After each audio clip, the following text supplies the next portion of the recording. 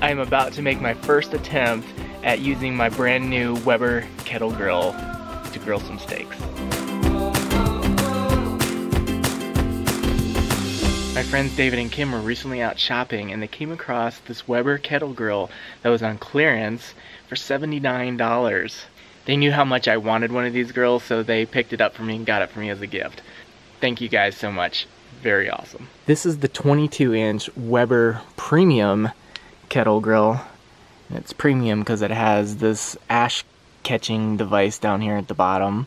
And it's also a limited edition version, which basically just means it is painted red to make it fancy looking instead of the standard black.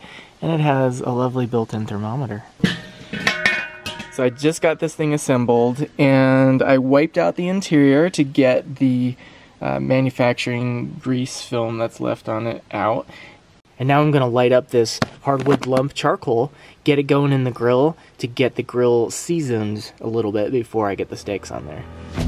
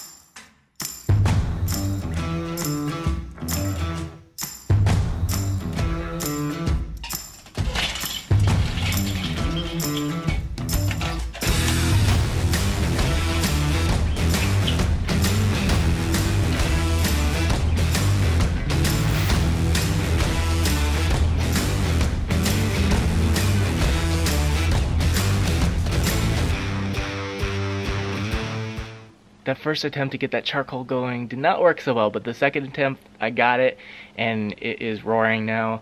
I added some fresh charcoal to the top of it so I can give it a little extra time to season in and then still be able to cook those steaks.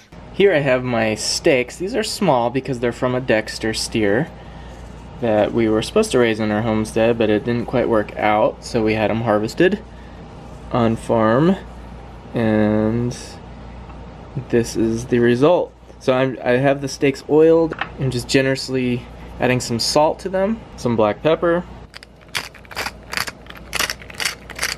And then I'm just adding a little bit of this steakhouse blend from Harvest Eating, and you can get that at harvesteating.com. This is an all certified organic seasoning from my friend Chef Keith Snow.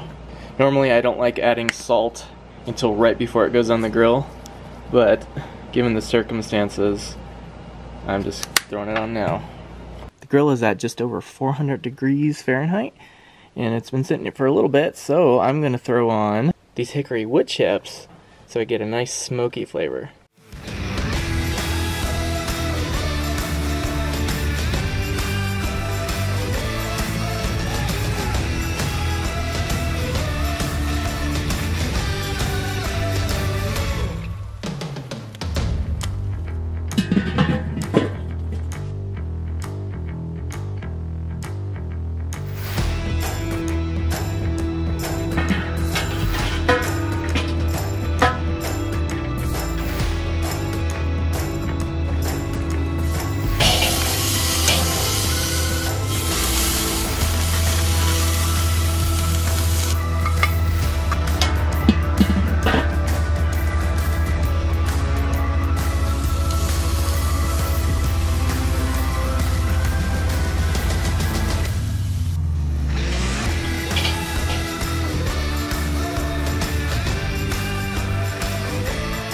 I obviously did not get enough heat going in the grill because I did not get nice sear marks on the steaks. But the steaks were in there long enough to where I was getting concerned that it was going to get well done, and I prefer a medium rare steak. I'm sure that could have gone a lot worse though for my first time, and I'm pretty confident that these steaks are going to be pretty delicious just the way they are. And now I know for next time I probably need to shoot for about 500 degrees to get the nice sear marks on the steaks.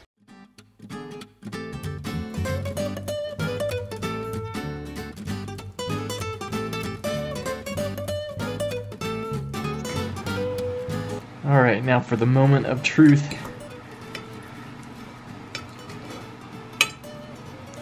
Okay, so along this outside edge, it's a decent medium. Not bad. Certainly not as bad as I thought it was going to be. Now for the taste.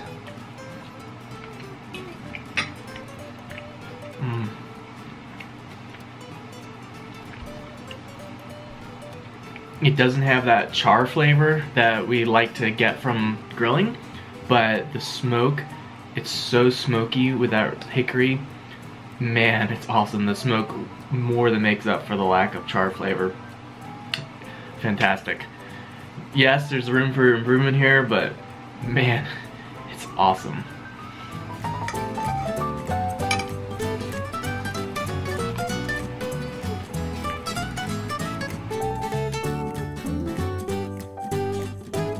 I was just showing little buddy how all this works with the charcoal because we are giving it another spin tonight. We're making what?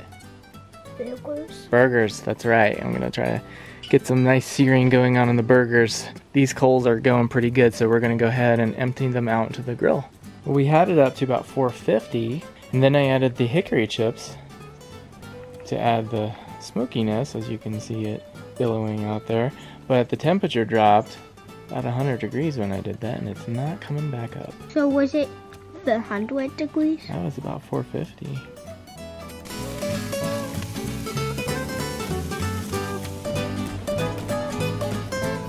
The temperature is continuing to increase.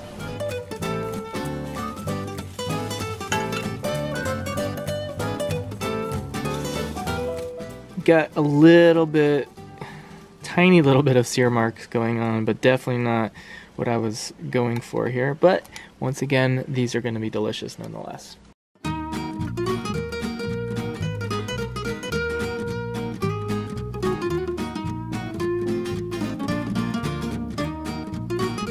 So you're just gonna use your fork to eat it? You're not gonna pick it up with your hands? Yeah, I'm not because it's easier because I don't get to drop anything. Oh, okay. Well, give us a bite of the burger and let us know what you think.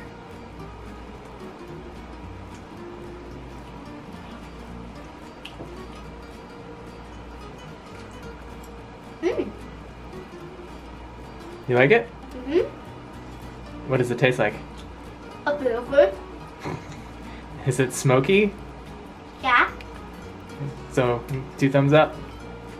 Awesome. Better than one.